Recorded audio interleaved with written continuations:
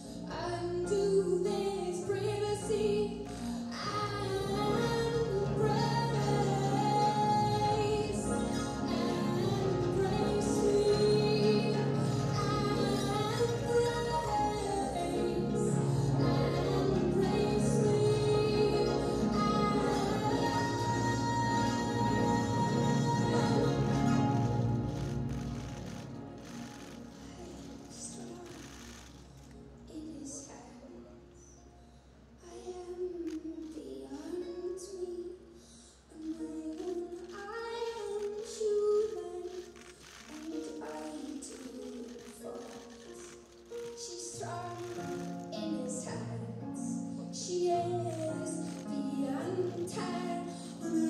She is human and she does faults. She's strong in his hands. She's strong in his hands.